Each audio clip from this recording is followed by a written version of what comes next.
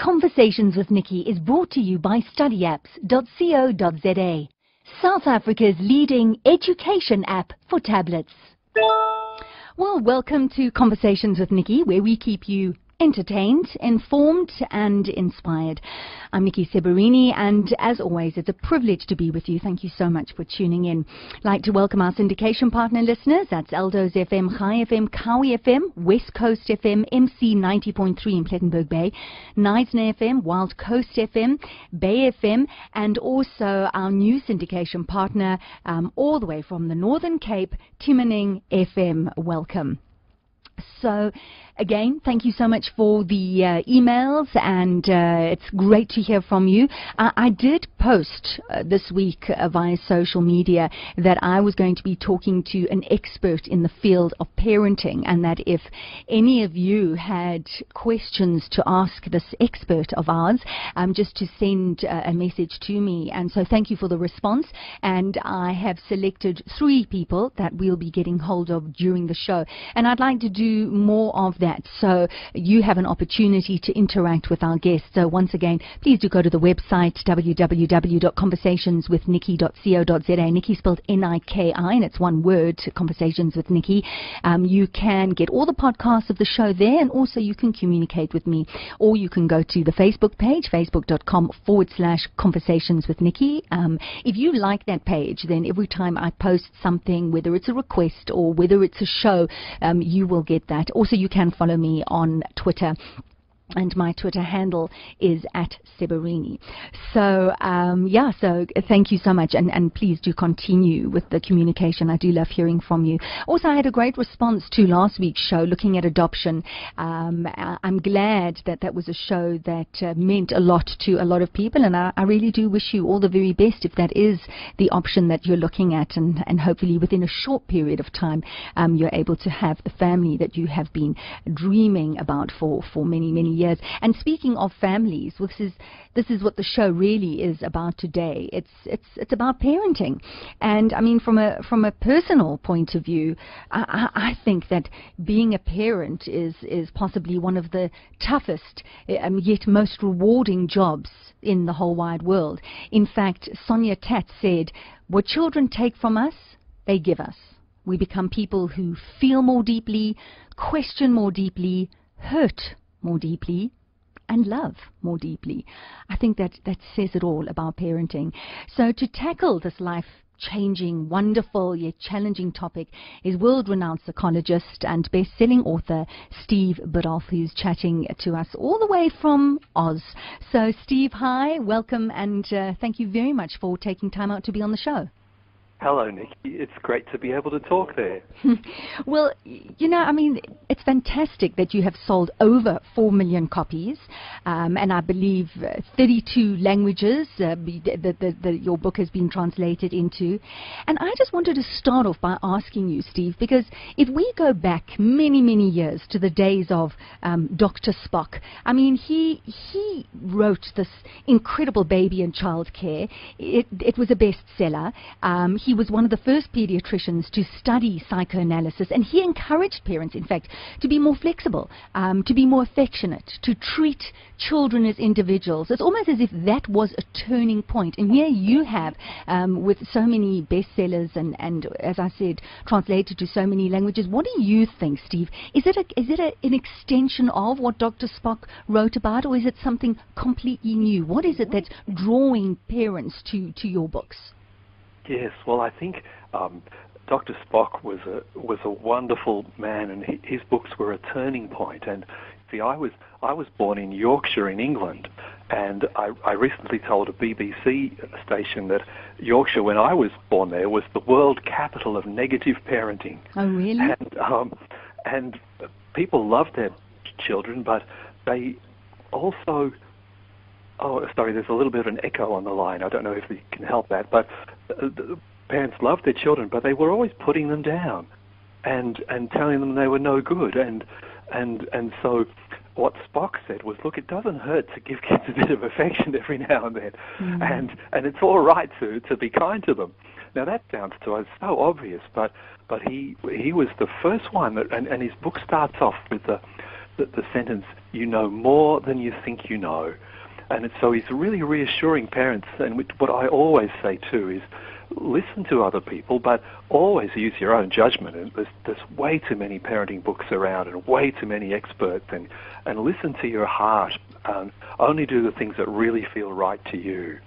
Well, it's so interesting that you say that because you're right. I mean, you go and you, you walk into a bookstore and they're just shelves are packed with parenting books. What I find so interesting, Steve, is that anyone can have a child. You don't have to have any type of qualification. You don't have to write an entrance exam. Um, there's no test. You can just procreate. And I, I, hear what you're saying about listen to your heart and, and, and go with your gut. But you give birth and you have this little human being um, who relies 100% on you, and it really, really is incredibly daunting. Yes, that's right. And, and I think one of the things that I've, I've recently been doing some some big seminars in, in London with about 40 parents at a time. And what we do is we look at, say, the seminars that are about girls, we look at the five stages of girlhood, and then we look at how, for the mothers there, how they went in those stages. Because, for example, it's really great with little girls when they're between two and five to, to encourage them to be explorers mm-hmm. and get out in the mud and the dirt and the trees and, and feel like they can go anywhere and do anything. Um, now, the trouble is if you if, if when you were a little girl you're always told to stay neat and tidy and keep your clothes clean and that the world's a scary place and don't get any dirt on you, um, it's very hard to just kind of relax on the inside when your daughter wants to play in the mud. And so it is important to, and it starts you on this journey of looking at your own childhood and what you got that you liked and what you got that you didn't like and and talk to other people and just gradually find your way to what's um, something that isn't just the result of passing on things from one to another. Does that make sense? Absolutely. It, it really does, Steve. Listen, I, I do apologize for the echo. We, we can't hear an echo on our side. On our side, the sound is good. So if it's really bad for you, let us know and we can always call you again. But I, I hope that you're okay with that slight echo. Let's see how we go. Thank okay. you. Fantastic, Steve. You know, you were talking about something that, that I think is quite interesting. You know, getting girls between the age of two and five who are exploring to go outside, get their hands dirty and really, really explore. And I do find, and, I, am not sure what it was like um, during the Dr. Spock days, um, but I, I, do find that parents are very concerned um, with germs, and we have all these hygienic cleaners, and and and I, and there are a lot of children, in fact, who don't want to get dirty, who who are very uptight if their hands are dirty, if if their feet are muddy. Is this a? I mean, if we look at nature nurture, I suppose we can bring up the question here. What what is that? Is that a, just a new generation of kid? Is that the parent who is is passing on that kind of um, yes. neuroses? What, what's your what's your take on that, Steve? Yes. Well, I was listening today to uh, Australia's very best expert on on allergies and that she was being asked, why is it that so many children now have all these terrible allergies? They're, you know, they're everywhere. And she said that the most um, convincing theory that they have about this is that little children are not getting enough germs. and she says there's a stage little toddlers go through where they, and every parent knows this because it drives you crazy, where the toddler seems to be putting everything in their mouth. Uh, I can remember our son putting dog poo in his mouth oh. when he was, and just this terrible moment and almost hosing him out, you know. and you think, how can they do that? But it turns out this is a thing which babies do, ch- children do. They they put everything into their mouth, and the reason is is that they have an instinctive knowledge that they need to expose themselves to as many substances and as many kinds of bacteria and things like that in order to wake up their immune system.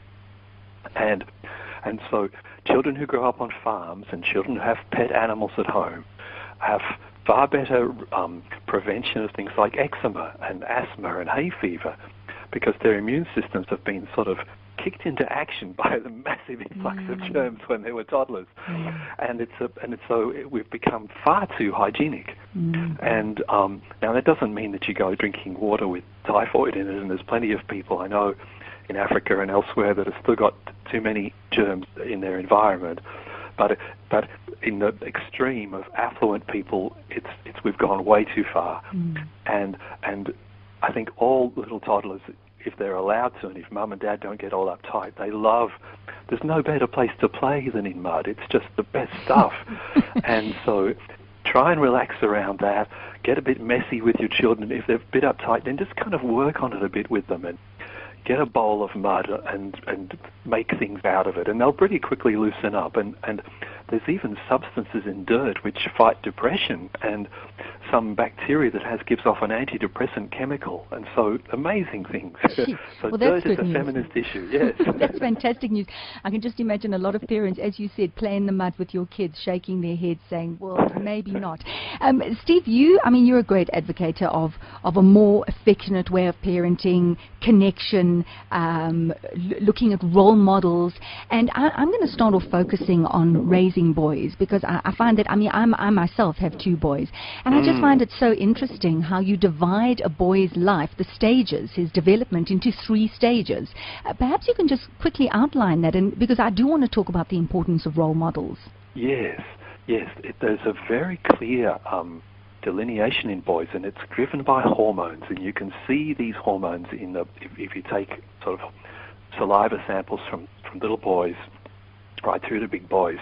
That from naught to six, so from birth to the age of six, little boys are very much in their mum's world, Mm. and um, they're learning from their mum to to feel loved and secure and to love life.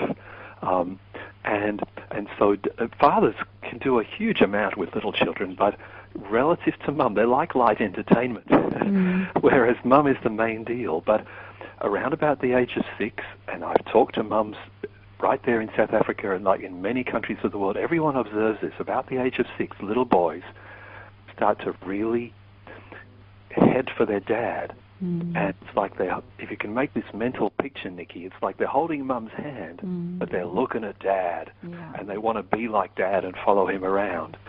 And we know there's a testosterone increase in little boys' bloodstream just before that stage comes along. But whatever it is, it's, it's like they've suddenly realized I'm going to be a man and I better start studying for the part. Hmm. And if you haven't got a dad at home, people listening, then often a granddad or a stepdad or an uncle. Doesn't matter as long as there's some caring man. And then that that stage, the the the, the, stage when fathers are uppermost, goes to about the age of 14. Mm-hmm. Now, at the age of 14, boys have a testosterone surge of about 800%. I'll just let that sink in with the listeners. Sure. That's a, that's a. That's the That's most you'll ever have. And what it does, and you know, when I have a large audience in front of me, they, everyone sort of groans that. We, we say that a 14-year-old boy will argue with a road sign. And so at 14, boys and their dads, even if they've been really close, some tension starts to come in. They get a bit sort of stroppy with each other. And because this is the age when the boy's programming is that he knows this is this is in through through our long history as hunter gatherers, this was when you became an adult. And and so the boy wants to push away from his dad, but he's far from ready. If you think of any 14 year olds, you know, they're Mm, far from ready to be it's a terrible idea. They're, they're, they're crazy. And so what comes in from 14 to 21 is what boys need is mentors. And mentors are preferably people that mum and dad have kind of put into their life, chosen them carefully. It can be, you know, school teacher or scout leaders and guitar and, you know, we say don't, don't send them to Kev's Karate College unless you like the look of Kev because you're wanting because these are the people that they'll start to base their manhood yeah. on, Mm. and and so a great thing of people listening is to dads go away with your boys during their teens with other fathers and their boys, and go camping and go to, to the surf go to a concerts and things. So your son meets other men, and he'll base his broadening sense of his masculinity by having a bit. I want to be a bit like that man. He's kind of artistic, and that man's really good with kids, you know. And this man's a scientist, and and maybe maybe dads you know, an accountant or a lawyer or something. And it's good, but it's not enough for that boy. Does, does that make sense, Mm. Niki? Uh, But, Steve, it, I mean, this sounds, I mean, it's great. And I think in an ideal world where you have a mother and you have a father and you have grandparents and your child has, you know, perhaps goes to scouts or whatever it is, it's, it's absolutely perfect. But that's not always the reality. I mean, if we look in South Africa, Steve, we have so many, for example, child-headed households, which is a real, real tragedy. Yes. We have um, we have a problem where there are many young boys who are who grow up and they, they simply don't have fathers in their lives Yes. at all. So you're, you're talking about that important stage between six and fourteen where they do not have these male role models, these male figures. N- never mind the role model from fourteen onwards. So I suppose what I'm alluding to, Steve, is what happens when it doesn't work out like that. What what happens when the right people who play an integral part during those stages are simply not there? Yes. Well, this is this is what we observed throughout the world in the 20th century. Even people who had dads, their dads were often very remote and a bit, a bit, you know, judged sort of harsh and distant. And this this is the biggest wound in the human race. Mm. Is is the the loss of healthy masculinity Hmm. especially in, in the lives of, and certainly in, in women's lives, but in children's lives especially. And and what happens with that lack is that boys go looking for it in any way they can. Now, if mm. that's a, you know, if a if a 12-year-old boy doesn't get that, he'll look. Maybe he'll follow a 14-year-old boy around. Yeah. And so that's when you get gangs and when you get people doing terrible things in groups and, and the, because the, get, the, the 14 year old isn't able to be a, a a stable or sensible mentor. His hormones are still going crazy. And so um, boys look in the wrong places for how to base their masculinity. Um, and so I can't fix this, but I, I think at least we've sh- we can shine a big bright light on it because we know that the way to turn boys' lives around is to is to get the men who are off on the side, who don't have a role and don't really know what to do. And this is, Niki, this has been my life's work. Yeah. You know, I've spent 25 years touring the world. My single most goal was to get the men to step up to the line. Mm. And so um, we do know there are encouraging signs. Um, today's generation of men have trebled the amount of time they spend with their sons. In, in one generation, we've, we've increased that by threefold. Sure. Young dads are so much better at this. Mm. But, but you're right, in, in fatherless families and in um, child-headed families, this is a terrible lack. And um, and what's happening around the world is people are getting men together and saying, look, it doesn't have to be your own son. Perhaps you're a 25-year-old young man who works in a bank or works in a mine or a factory. Be a mentor. Would you like to go Mm. go to the school or go to a family or join the YWCA Big Brother program and be there for a little boy? Yeah. Yeah, I hear that. Um, Steve, I, I put out a message um, to listeners saying, you know, I'm going to be talking to you, and does anyone have questions? And I, I had quite an overwhelming response, and I just selected a few. So I have Laura on the line. She's from Johannesburg, um, and she has a question for you. Laura, are you there? I am. Thank you, Niki. Laura, please do go ahead. Um, Steve's listening to, to your question. Hi, Thank- Laura. Hi, Stephen. I love your book, Raising Boys. I've used so much from it, so thank you so much, and continue Great. fantastic work. Steve, I have two boys, a six-year-old and a ten-year-old, and um, I think two issues here, Steve. We're having sibling rivalry at the moment, where they are arguing, fighting. Um, they love one another to death, but there's also moments where there's smacking involved as well. They smack one another. Um, and also, my, my son, I could say, is a preteen. He's getting to a stage where he's he's pretty mouthy at the moment with me. And, you know, we you set the boundaries, but he pushes the boundaries, and you take away the privileges, you do all those things.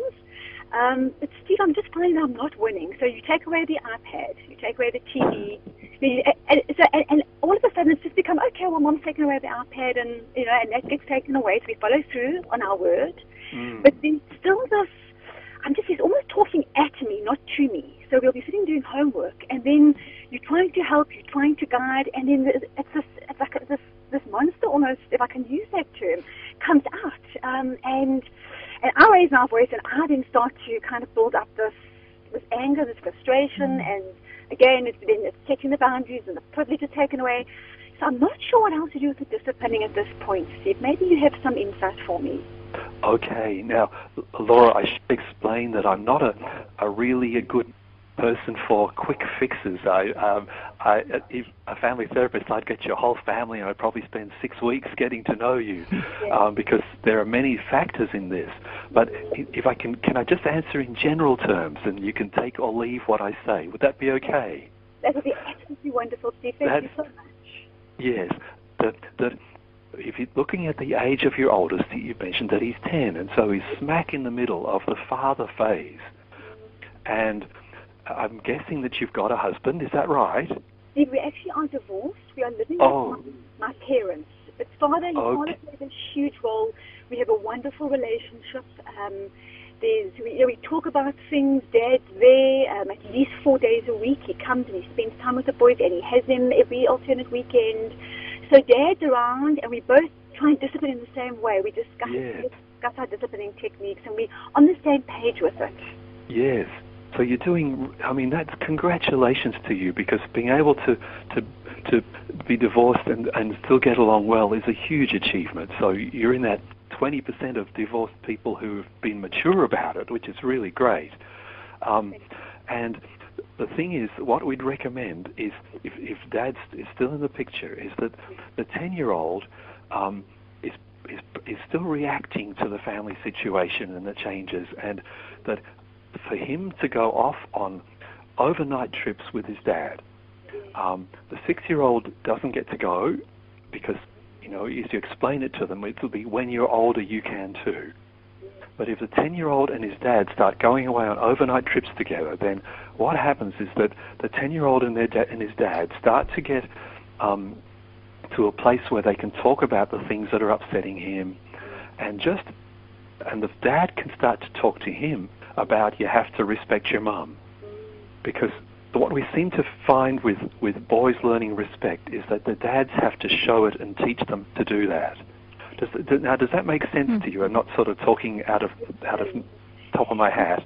No, you're not, Steve. You actually are you on track because, we, in fact, Dad does often say, you know, he talks to the boys and he'll say, you need to talk with respect to mommy, mommy's, you know, we, we, we want to develop a family where there's love and there's kindness mm-hmm. and there's caring. So then it obviously, it gets it's spread out. You, you take that with those skills and you use it in the real world. And, and that is what we try and install in the boys. But I think it's also an awkward age because he is a preteen. He'll be 11 very soon. The hormones, I think, are kicking in. There's a lot of changes happening at the moment. I can see it. Yes. Mm. I, yes, I, I very much think that this is really, that you're actually doing everything right and your husband is too. And this is just the kind of that it's a stressful time for the family, and and and it's it's it's just that usually kids kids will show the stresses by being cranky, mm. and and that, that um, as it gets more settled, and also if you can um, just sort of have time for yourself so that you don't, you know, that you're kind of a bit more casual about it all, and maybe let him do his own homework and and be a little bit more out of his hair.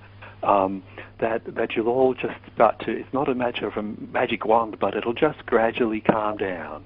Mm. Um, so I, I think you know there's plenty of mums listening who are thinking, "Gee, she's doing all these great things," and and so you're really on the right track, and just just stay with it. Thank you, Laura. Thank you so Thank much you. for, you. for the question. It's a great show. Thank you. Bye bye, Laura. Thank you, Steve. Um, Thank you for that. I, I, think that also perhaps with, with the divorce that Laura was talking about, that that maybe would would complicate issues. You, you spoke about how important it is for the father to draw a boundary or a line in teaching his son um, how he can, what is and is not acceptable when addressing um, his mother. Is that, I mean, is that is that a phase as well, Steve? Um, yes, I mean, um, it's it's that classical thing which probably everyone listening to the program remembers from their childhood when you dad comes thundering in and says you know don't speak to your mother like that mm. and um and it's not it's not as much that it's not so it's not like the cavalry arrives and the dad comes and thumps the boy or anything like that it's just that um that women really often do the hard stuff. The, the mm. woman is the one who does the, you know, making sure they clean up and get their school things ready. And and sometimes dads are a bit like a a bit like a kid around the house, and they're just the good time guy. and and so and that's partly because the way we work, the, the guys are exhausted when they come home. They don't want to really do anything heavy at all. But it's the fact that um, what the, what a teenager needs to see is mum and dad standing side by side, very close, and and the the, the, the, the, the dad is really on her side and, and that they're standing together and saying, you're a great kid, but we're going to keep on raising you. You're not finished Okay. yet. Mm. And, and for a woman to be able to just relax into that and feel like, oh, you know, um, I'm not on my own and I don't have to do it all myself is, is a huge thing. So the unity um, and speaking the same language as parents is very important. Yeah. Mm. And, and often, I mean, don't think it's not that you've got to always agree. You Mm. hardly ever do. Yeah, well, that's Um, true. but but you don't undermine each other. Mm. Um, Steve, I mean, we've, we've just really just started talking about raising boys, but you have just written um, Raising Girls, helping your daughter to grow up wise, warm, and strong. And, and you talk about the worry, the caution today um, that, that, that young girls face, um, that girls um, have premature sexualization through, through media exposure. So the question is, um, Steve, so uh, w- what, what girls are going through and experiencing today, is it very, very different um, from, from what was happening, let's say, 15, 20 years ago? Yes, uh, it certainly is. And if I can explain a bit about that, Niki, Please. when I wrote Raising Boys, um, which was 15 years ago now, girls were going great. Mm. And, um, you know, I was worried about boys. Boys were three times more likely to die and nine times more likely to go to jail, and girls were just flying along. And so I assumed girls are taken care of. And, and but about six or seven years ago, the mental health figures with girls suddenly took an enormous plunge, and it started in the United States and it spread across the world. And so that when I first started as a psychologist, maybe one in 30 girls had psychological problems. But today, and it's the same in South Africa as everywhere else, about one in five girls will have a serious psychological problem before she's 21. That's frightening. And Why? Why is it happening? It's, it's what what we think is going on is that there's a sort of a, a sort of a perfect storm, in that the main the main one is what you alluded to, which is that uh, to, one parent put it to me that 14 is the new 18, Mm. and that girls are, are being forced to grow up way too fast, and you know so we've got eight-year-olds dieting. Very most eight-year-olds are worried. Most eight-year-old girls worry about their weight. Um, 10 and 12 year olds are, and, and are just thinking you've got to have a boyfriend and, and you've, you've got to be sexy and everything like this.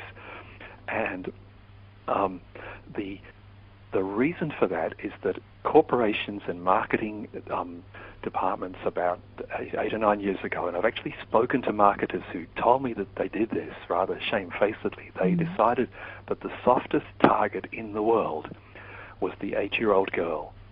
And if they could get her to be anxious about friendship and anxious about looks and fitting in and belonging, they could sell her all kinds of stuff for decades. You know, if they could get her hooked onto diet foods or hmm. things like, you know, brands of clothing. And so they went after the, the prepubescent girl. And so that the, the consequence of that today is that girls are anxious about things that they wouldn't have even thought about 10, hmm. 20 years ago hmm. And there's, and there's and it's partly marketing. It's partly that we watch a lot of television now. All the women on television are, are incredibly gorgeous and, and, and look sexy and act sexy in rock videos. That's Mm. what women do. And so, you're, I imagine, Niki, you're like me. You're from uh, from the feminist era, and you really For believe sure. in women's rights, and and and it's making us all just just groan because it's Mm. back where it was, that women are just decorations again. Mm. And so, uh, we, and we're seeing this happen to the girls. And what's happening is that they get anxious, they develop eating disorders, or they um, they act out in the sense of dr- drinking too much, having sex very young at 12 or 13, and um, and and we have this sudden epidemic of of, of mental health problems. Uh, I'm just looking at uh, in, in raising girls, you talk about the five stages zero to two, safe and loved, two to five years, exploring, five to ten years, people skills, 10 to 14, finding um, her soul, and 14 to 18, adulthood and, and learning to take responsibility. And if you, you just spoke about girls at the age of 10 and 12, between 10 and 12, who are looking to be in relationships and who are feeling that they need to be sexy and they're, they're under pressure. And, and, if, and if that coincides with the very important stage that you've highlighted, which is finding her soul, I think that that's it, it, just tells us where the problem lies when she should be finding her soul. This is where she's, you know, very unsure sexually and in relationships. Steve, we're going to take a break. We will be back in a moment and we'll continue with this fascinating conversation. Hi, my name is Esvia Prinsloo and I'm the HOD of IT integration at Bridwin Preparatory School in Melrose. We started using study apps about six months ago and have seen astonishing results. We were quite amazed to see how quickly the kids have been able to use study apps and the benefits it has shown with regards to reinforcing what they've already learned inside the classroom. I would highly recommend study apps for any school. Studyapps.co.za well, if you have just tuned in, welcome. This is Conversations with Niki, and I am Niki Seberini. Great to be with you. Thank you so much for tuning in, and also welcoming our syndication partner listeners of course, our brand new syndication partner, Timaning FM in the Northern Cape. We also have Bay FM, we have Wild Coast FM, Knysna FM, Plettenberg Bay, that's MC 90.3, West Coast FM, Kawi FM, High FM, and Eldos FM. I have the very fascinating um, best-selling author and psychologist, world-renowned psychologist Steve Biddulph on the line. We're talking about raising children. Uh, Steve has written Raising Boys, which has been around uh, a million copies worldwide, bestseller. Also, Raising Girls, his new book, um, Secrets of Happy Children. I think his first book was Manhood, and I think that must have been fascinating. Unfortunately, I haven't read it um, yet men looking at themselves in the world. Um, and uh, I put it out there and I said, if you have any questions, please do let me know and uh, we'll get Steve to answer those questions. So I looked at three people and uh, we're going to be talking to, I think, Mandy from PE in just a moment. But Steve, let's continue. Welcome back. We were talking about girls. We were talking about how times have changed for girls. You, you are, are, a, are a great advocate in role models um, and having mentors in children's lives. And, and, we just spoke about, I mean, look at the role models of young girls today when they switch on TV and they look at these these music videos as we spoke about. What what can parents be doing? I mean, parents don't want to be the ones who always say to their children, "This is not appropriate. That's not appropriate. Switch off the TV. Change the way you dress." Don't, especially going into teenage years, don't girls just want to be like their friends? Well, they do and um, and it's probably um, not the best thing to wait till they're teenagers. And because one of the things that we that we we realize now is that there is this kind of flood of media but it starts incredibly young, and perhaps the damage is happening at around about the age of two or 3 mm-hmm. And so, and I, I remember Niki, my, my daughter's 22 now, but I remember this incident when she was about three years old, and we were just sitting around in the evening, and she, the television was going, and and she looked to, up to us and said, from, she was playing with toys, and she just looked up to us and said, "Isn't that great, Mummy? That lady's husband will love her now that she's lost weight." Hmm. And, and, she was uh, we three. Kind of double taken, mm. realised that there are a lot of diet ads on Australian television. I don't know if you have them in in South Africa, but um, she hadn't even been looking at the television, but she'd heard this diet ad. This lady had lost weight and was giving her husband a big cuddle and so a little three-year-old was already making that conclusion. You have to be thin to be loved. Mm. Now we really changed our television practices after that, mm. and and so it's more to do with early days.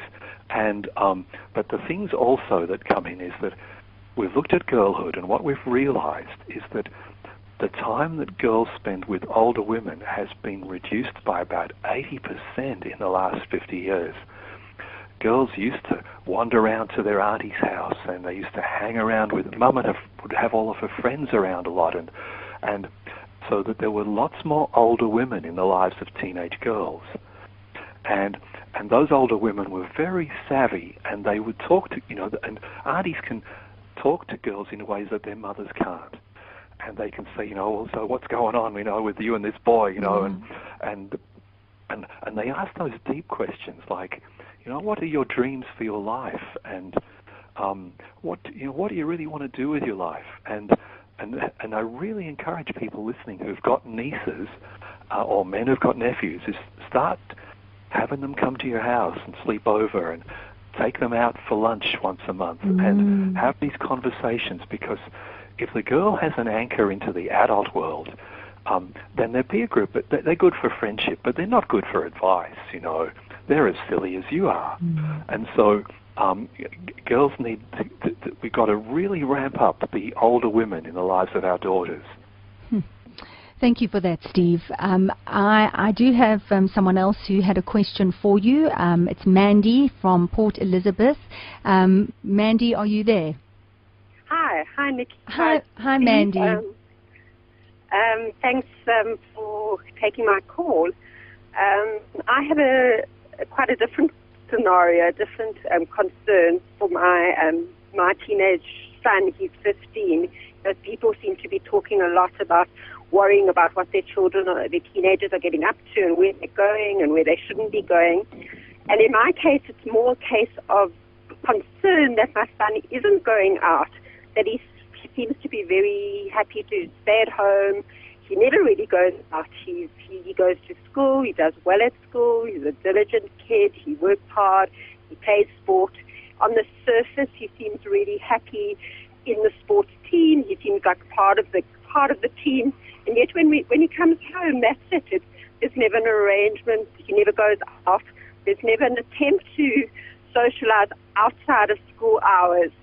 And as a mother, I, I have to um, wonder whether you know whether this is you know just okay in the personality that he is, or whether maybe it's you know through lack of courage, and one could perhaps help him to like to to to find the courage to perhaps pick up the phone and ask you know ask a friend over, or it's difficult as a mother whether to put pressure on him or whether to just let it be. Sure. Um, well, Maddie, of course, with all the uh, apart from all the other advice I was giving with Laura earlier about about the role of dads, um, I think that I wouldn't be too worried. Um, I think that boys go through quiet stages, and and and and are, sometimes some some boys are much shyer than others, and I'd be worried if he wasn't playing sport at school or didn't, you know, didn't like school. Does he? Does he? Is he? Does he say that he's happy at school? Yes, he does seem to be happy. I think he's he's very comfortable there. You know, he's found a place which is comfortable, and um, you know, he's he, he, there's never any issue about going to No. school. Well, look, that's the main thing because you see, compared with our day, school is is quite exhausting these days, and um, and if you're a, a sort of a, a, a kind of a person who's wired up to be uh, quite smart and, and bright and sensitive to your environment, it's it's actually a bit of an overload. And Yeah. there's a lot of physical changes going on at 15. A lot of you know, it's it's emerging into into young manhood, and I'd be inclined to just relax about it for a year or two. Um, Right. Usually, usually, what brings people out of this is, of course, is the amazing fascination with girls, and Yeah. and what makes boys start to get more social is is that they're wanting to start to, to relate to the opposite sex or the same sex or whatever it is that they are interested in, and so. Um, this is what brings us out of our shells. I was, I was a lot like your son, and and um, and look at me, I turned into a sort of um, someone who can't stop talking. and so um, my my gut feeling, and of course, as I said, if you know if you're worried about, you know, you always go and talk to a psychologist properly if you're really worried. But um, but my gut feeling is just look, just relax about it. And the fact that he doesn't talk, like he's not a talker, he's very quiet, he just gets on with it. He doesn't like to answer questions. You know, as soon as you even mention something, he Mm. feels gets um, gets very defensive and um, Yes. just, it's, Yes, it's well, bo- boys find boys find anxious mums really hard work, and and and um, they start erecting they start erecting walls almost straight away, and and so as long as he's still coming out to the kitchen and getting food, I'd I'd be relaxed about it. Thank you very much. I appreciate your advice. Pleasure. Thank you, Mandy. Thank you very much. Uh, you know, I have to chuckle to myself when you said that boys find anxious moms difficult to handle because moms are really quite anxious, aren't they? Um, I think the dads are just by nature more relaxed, and, and I suppose that's such a huge generalization, Steve. But it's always just trying to find the balance and always trying to give one's children the very best. Yes, and I, and I think um, when I do these talks anywhere on the radio in the world, it's always the mums who ring up, and and it's, I feel like they've been abandoned too much by the men, and and it's this is men's work to be getting these boys confidence and and, and things like that. If confidence is the issue, or if misbehavior is the issue, I, I say, where's the dad? And, and what's he doing? I, I, no, don't, not saying that in Mandy's case, but but as a general picture in society, we, we need the, the men to be far more um, weighing in there with the, with the, with not just their own boys, but everyone's boys. Steve, I, I, I love what you say, and I, I find it very interesting that you've, you've been quite um, outspoken about delayed schooling. Um, that, that perhaps, and I think especially for boys, you, you feel that boys should only start school a little bit later. Now, we, we again, I don't know what it's like in Australia. I think that they encourage moms to stay home for, for longer and obviously then be with the children. But again, living in South Africa, you have a lot of parents who are working and uh, they have to get their children off to uh, a daycare as, as, as young as possible. What kind of impact is that having on our kids today? Okay, well, um, there's t- sort of two questions rolled in there together. Yes. and daycare is one question, but the one I'm most interested in at the moment is that um, because there's really strong research coming through in in Australia and in the UK and I imagine in South Africa, a lot of kids start school at about four or five. And what's happened is that the nature of schooling has changed a lot. It's far more serious now, and what I call sit-down schooling hmm. starts off straight away, and people have got books and they've got pencils and they're and they're doing lessons at- at five years of age. Now, little boys develop in a different way to girls, in that girls at about the age of four they get very good control of their fingers and what's called fine motor skills. And little girls, if you've got a little girl at home, she'll be drawing stuff and making little things with her hands. Whereas boys develop their gross motor skills, which is their arms and legs, um, first of all, and then when they're about six, they finally get to, to wiring up their fingers at the end of those arms and legs. And so the average boy doesn't get good motor control of his fingers till for about a year longer than the average girl. Now, um, if they're in a classroom and they're having to sit still and be good, then that little boy's body is calling out to him and saying, "Move me, move me." And um, any men listening will remember this in school. It hurts. It just hurts to have to sit still.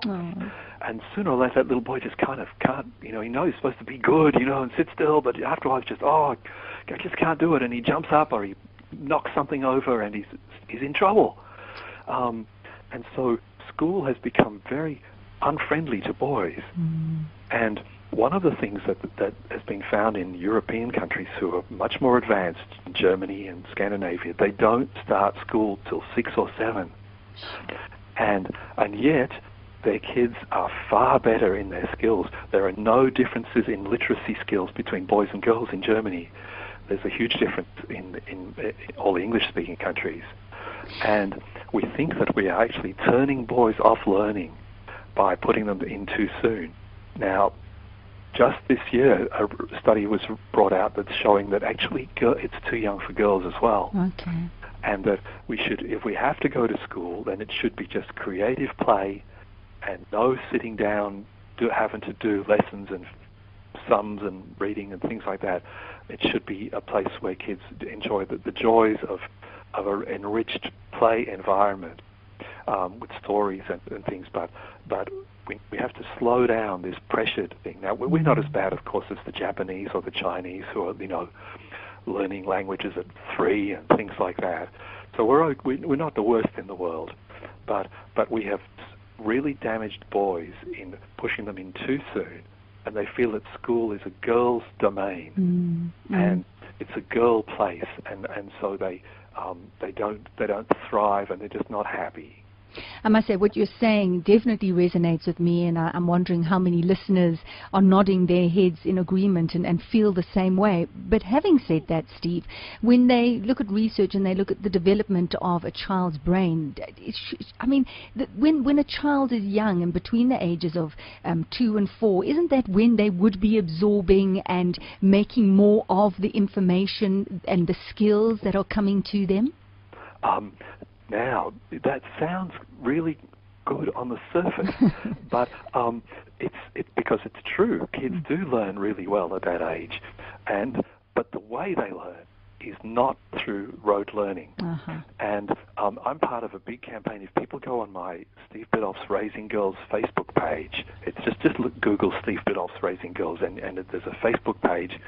Um, and and about three weeks ago, we put this research up because there's this whole movement, and it's I'm part of this in the in the UK of child development people who are saying that um, that we're messing up children's learning because they because play is how they learn, okay, like and they are far more. Um, um, they learn far. For instance, you know, if we had lessons in walking, we would have kids who were crippled, and if we had lessons in how to speak, um, we'd have kids who were couldn't speak mm. because they learn better in their own time in their own way. Mm.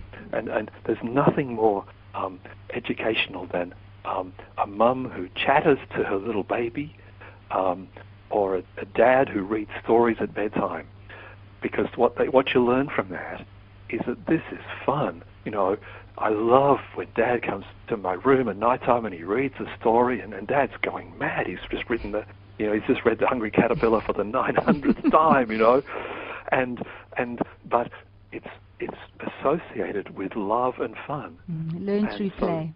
Yes, and so boys learn to love reading because they they they do it. You know, it's because it's fun. Mm. Dad does it. He does funny voices. You know, and and Mum chatters. Uh, you know, to me and talks about what she's doing. But that's the way that human beings have learned for hundreds of thousands of years. Mm. There, there were no schools in the um, in in the hunter-gatherer society, um, but the kids were so smart. Yeah. They could recognize 200 plants, and they they could, you know, a six-year-old could look after the baby um, they were much more intelligent than our children.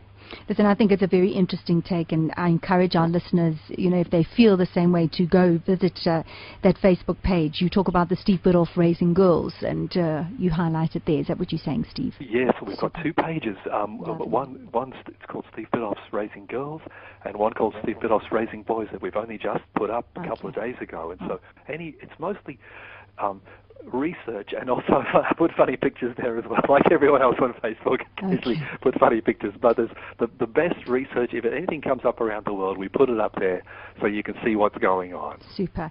Now, listen, a little bit earlier you said, you know, that usually it's the moms and, and dads need to be doing more. So I'm delighted to say that we have a dad um, on the line who has a question for you, which is, which was, uh, you know, when I got the question, I was very happy with that. So um, mm. I have Lawrence from Joburg um, on the line. Hi, Lawrence. Um, please, will you direct your question to Steve? Yes, thank G'day, you. Lawrence. Hey, Steve, how you doing? Really great. Good. Okay, I've got a pretty unique situation. I've got a 14-year-old daughter who, about seven months ago, uh, just before she turned 14, she came to live with me full time because her mother immigrated, and uh, I'm not sure um, where where her behavior fits between a normal adolescent teenager versus a child who's like now living full time with her dad. And I'm not sure like what is normal or what is maybe issues related to the move, and I'd like to get a bit of advice on that. Sure. Um, now, when you say there are issues, what kinds of things are you worrying about? Uh, I just I just get a sense that she is a lot less warm and interactive than she used to be, and um, just seems a little bit distant compared to when she was younger. And I, you know, maybe that's just normal teenage stuff, or maybe there's I don't know some issues about you know living with one parent now. I'm not. Yes. Yeah, yes. Well, um, the good news is that this sounds exactly like a 14-year-old girl. Um, uh, being distant and and um, not as communicative. It's a terrible, sad thing for parents when this adolescence sort of really kicks in. That they do want to have their own private world, and there's a there's a, whole chapter about this in, in, in the Raising Girls book. But but I don't want to just minimize it as um, just saying that that's just normal because you are in a situation that's very unusual, um, and and you're a, dad raising a teenage girl on your own, and that's that that's great, and I'm I'm very proud of you for doing that. Um, but the same time, um, she's having a, she's got a big gap in, in a, at a time when she needs female role models quite intensely. And so something that it might be really helpful is to, to see if in the in the social world you have around you, or even if it takes some professional help, um, that there's someone there for her who's who's a woman who's preferably even older than her mum, um, that that spends time with her. Is is is there anything like that going on at the moment? I have a girlfriend who she looks up to, and she sees her maybe twice a week, and uh, she's quite happy to hear when she's coming around and that. Um, and other than that, I suppose aunties and a granny and you know that that sort of thing. Oh, that's good. And so you're not you're not sort of living far from relatives. There are relatives there, and and they care about her. Yeah, pretty much. That's great. Well, look, I, I, I mean, I'm less inclined to worry. I think that, I mean, it's tough on a girl when her her actual mum isn't isn't on on the scene, and you know, if if you could magic wand that, that wouldn't have happened. But but sometimes it does. And so what she's she, the very strong message that she has is that she has a dad who loves her, and and is is there for her, and that's that's a brilliant thing for a girl to have. And and and that she's got other other women in her life. I think that you've, you've got all of the ducks lined up there, and it's and it's doing the best you can. And so, it, it it might be that she does go quiet for you know six months to a year, just getting used to things, but she's not out of the normal range. Most 14 year old girls are a bit hard to get on with. And so um, some of that is just the, the age. And, and I think you're doing everything you can, Lawrence. No, thanks, thanks very much. That helps uh, clear things up a lot. Thank you, Lawrence. And including being brave enough to ring up on the radio. So I think we've got a first-class dad here. Thank you, Lawrence. Thank you very much. I agree with you, Steve. It's lovely to, to hear from, from a dad and to hear that, that, that perspective. Um, Steve, we, we, we spoke about the early learning, which I really, really think is very interesting. And I did also bring into that question um, sending your young baby off to daycare um, from a young age. What, what are your thoughts around that? And bearing in mind that for some parents it's an absolute necessity. So is there the right way of, of handling something like this? Yes. I mean, basically, um, daycare is something that um, was invented for parents. And um, if we w- if you were designing things for kids, you have what's called preschool, and it comes in about the age of three and a half, and it's about maybe three short days a week or something like that. And mm-hmm. we, we we've worked all over the world to try and have preschool provision for kids. But what the studies have found is that um, you know three short days a week seems to be the very best for advancing their learning. But if you go longer than that, then there's a, an indicator which is called cortisol, and cortisol you get if you get a little bit of saliva from a, a child's mouth, and you send it to the lab, you get uh, measures. It's a stress hormone, and it shows the amounts of stress that kiddies are having. And for instance, it it sort of starts low in the morning, and it kind of goes up the day goes on, which is a little bit like what what happens with parents mm-hmm. as well. And and um, but kiddies who are in daycare centres um, tend to to have higher levels of cortisol, and it suppresses their immune system. And if it's very severe, it even suppresses their growth hormones. And so, it's a kind of a a situation that you try and minimize. You know, if you can, you know, wait till at least they're two then that's a whole lot better than starting at one. Mm. We had a, a daycare centre here in Australia that admitted a six-day-old baby. Six days old, and mm. its mum was a law student, and she had to get back to, to study, and um, and there was a kind of an outcry about that because that was just really, really sad, and and so babies are best to be around someone who loves them, and so if dad can, if, if mum's got a great job, maybe dad can do it. oh, that's better. You know, if mum and dad can't do it, maybe grandma can do it. Um, maybe a nanny can do it, and that it has to be someone who, who for whom that child is special. Um, if you're in daycare, then you're wanting a ratio of one carer to three toddlers. Now, in Australia and England, that's often five to ten, you know, five to ten toddlers with one carer, Mm-hmm. and there's no way. And th- we've had studies of the what are called the joint attention sequences, which is the time when a kiddie says, you know, "Hi, mum," you know, "Do you love me?" and and the mum says, "Yes, I do," and the child says, "Well, just checking." You know, they don't use those exact words, but Mm. it's kind of like they check in, um, and the kids do that about 80 times a day um, if they're a toddler at home. But in a daycare centre, that happens about five times a day because kids learn, well, the care is pretty busy, you know, and, and just won't pick up on that. And now that teaches you to be hardy and to get by and be independent, but, but there's a stress cost. And so um, it's, it's okay, your child won't turn into a monster by going to daycare, but it just isn't first rate Mm. and and so I don't want to put this onto women. I think that um, maybe it means dads should spend more time at home um, and share it, so we can both have careers. There's a whole lot of things to be worked out here, um, but that's the honest picture and the research picture. Um, is you can use it, but it's it, it's not ideal. Mm. Uh, so for those parents though who do go and then they collect their child from daycare or whatever it is, the the question of quality versus quantity um, in terms of younger from little babies through to toddlers, is it what's important here? You you, said that.